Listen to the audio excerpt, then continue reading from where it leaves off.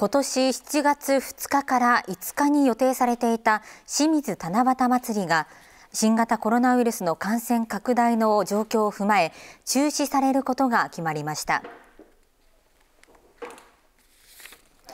清水七夕祭りは毎年7月に清水駅前の商店街で開催されています。個性豊かな竹飾りが並ぶ商店街に4日間で60万人ほどが訪れるイベントで清水に夏の訪れを告げる風物詩となっていました。実行委員会によりますと新型コロナの感染拡大が収束する見通しが立たない中竹飾りの準備に数ヶ月を要することもありこのタイミングで中止を決めたということです。いやでも本当やっぱ寂しいですよね。もう本当に七夕だけはこの通りはすごいたくさんの方がいらっしゃるから皆さんすごい楽しみにしてたと思うんですよ。子供さんとかね。